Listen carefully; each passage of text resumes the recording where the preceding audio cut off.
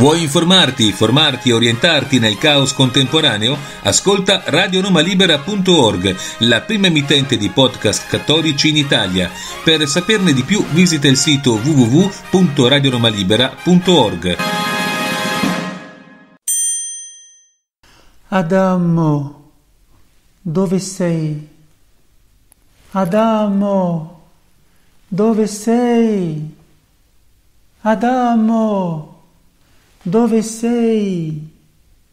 Così, cari bambini, chiamava Dio Adamo ed Eva in quella sera del peccato originale. E Adamo non rispondeva alla voce di Dio. Adamo conosceva bene la voce di Dio, conosceva bene Dio, suo Padre, suo Signore, suo Creatore, che lo aveva creato, fatto dal nulla. Però in quella sera Adamo ebbe paura della voce di Dio, ebbe paura di Dio. Ah, che cosa terribile! Adamo ha sentito la paura. Fino a quel momento non sapeva cosa fosse la paura. Adamo non aveva paura di nulla, era padrone anche lui di tutte le cose, aveva il dominio di tu sopra tutti gli animali, sopra i pesci, gli uccelli.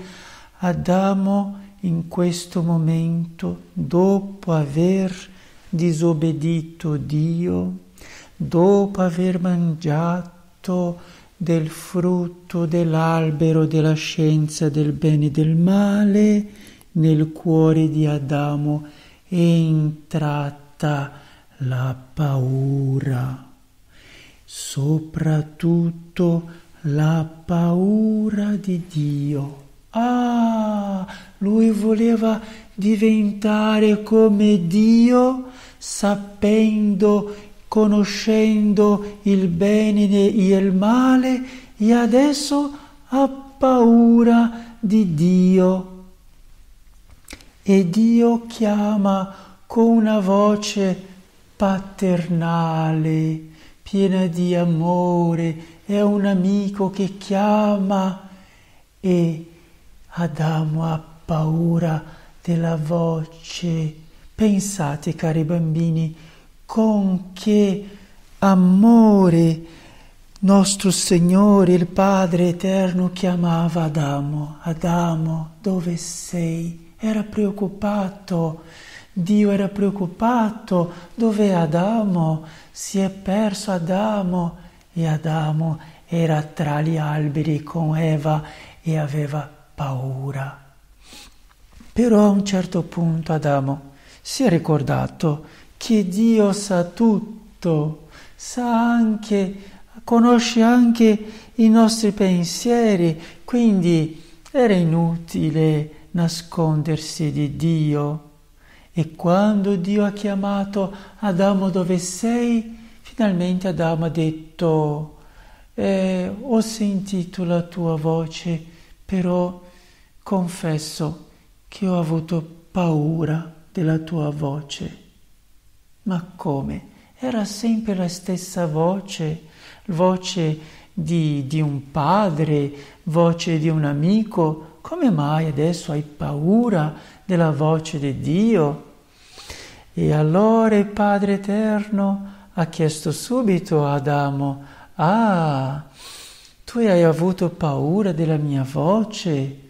Ah, so bene perché hai avuto paura della mia voce, perché tu hai mangiato, tu hai mangiato del frutto proibito e tu hai perso l'innocenza. Ecco perché hai avuto paura di me.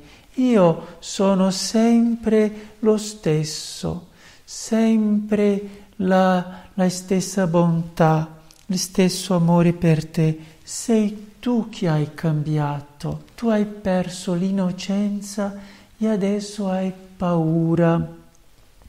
E allora mm, Adamo a queste parole non ha detto nulla perché era vero, era vero.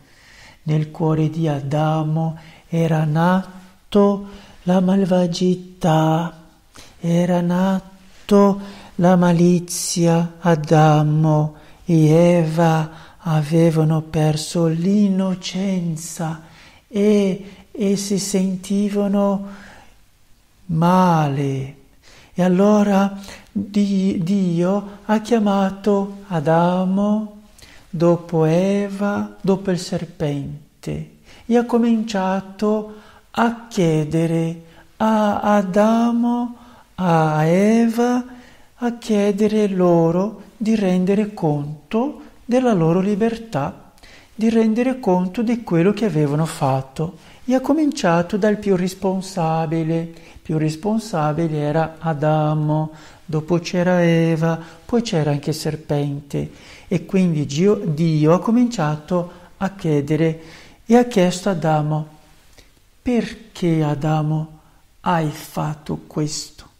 Perché mi hai disubbidito? Era difficile, era, no, era difficile ubbidire alla mia voce. Io ti avevo chiesto solo una cosa, di non mangiare del frutto di questo albero. Non, te, non, c'erano tanti alberi in questo giardino, non era una vita così bella in questo giardino.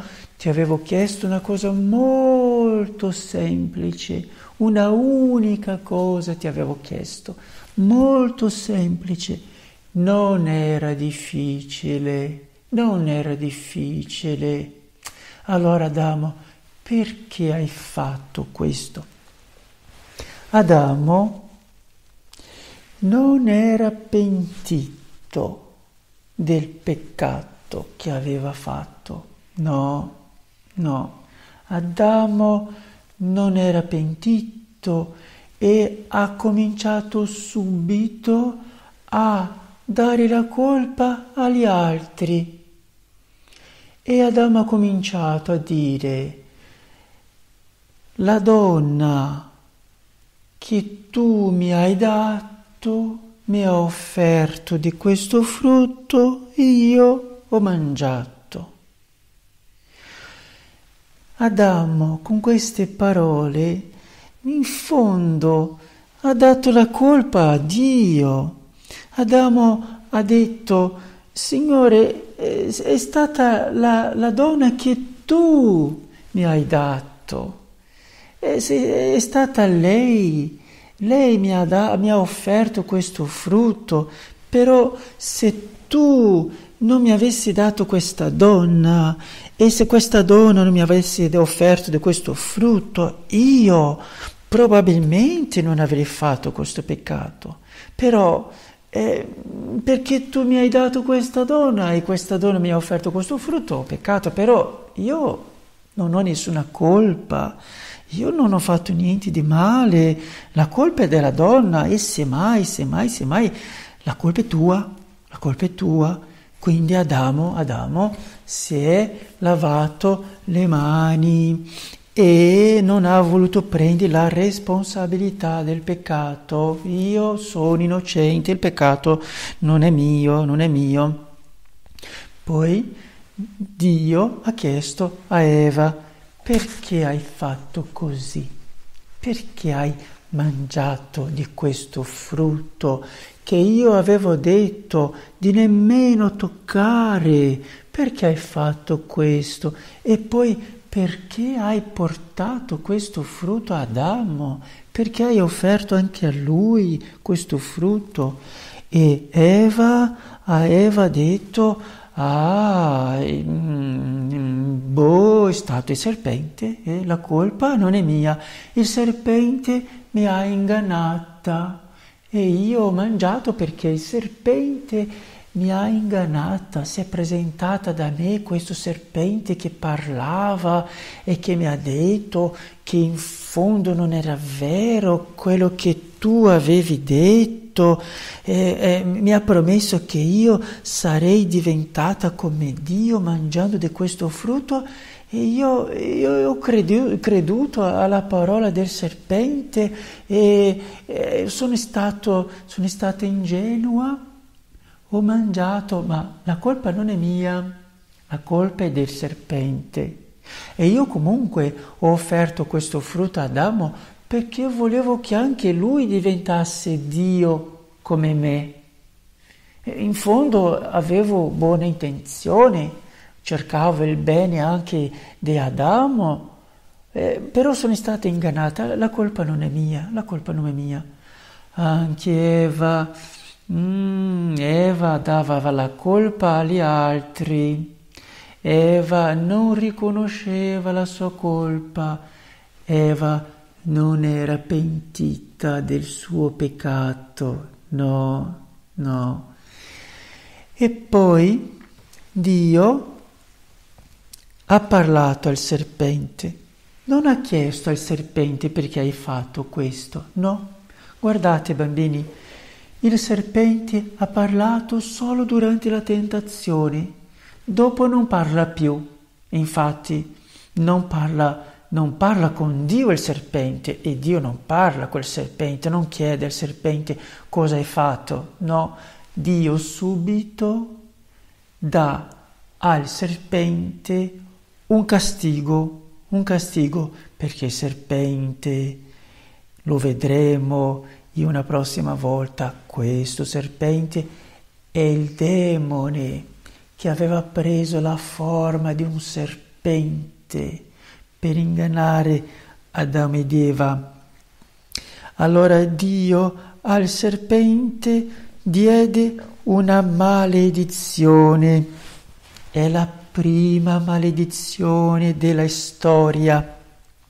Fino a quel momento tutto era stato benedetto. Quando Dio ha creato tutte le cose, il sole, e vide che tutto era buono.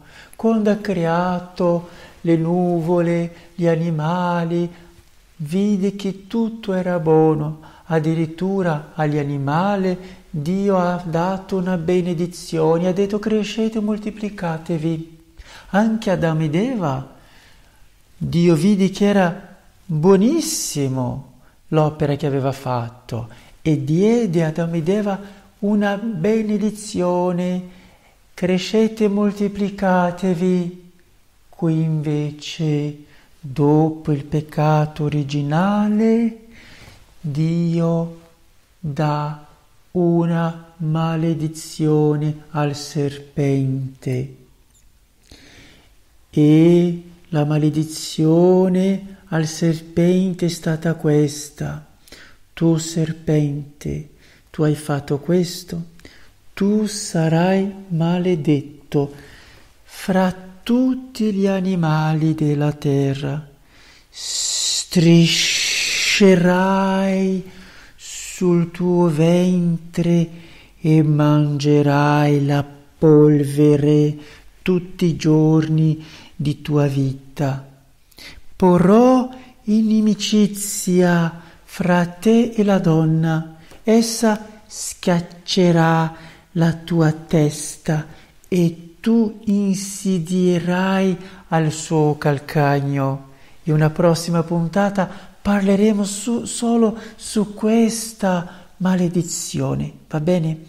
Poi Dio chiamò Eva e ha detto, Eva, tu hai fatto molto male. Primo hai ascoltato il serpente, cioè il demonio, e hai creduto, hai creduto hai, cre- hai dato credito alla voce del serpente piuttosto che alla mia voce. Hai avuto fede nel serpente e nel mio confronto hai avuto sfiducia. Sei stato incredula e allora meriti un castigo. E io sono stato molto chiaro nel giorno in cui toccate morirete. E Dio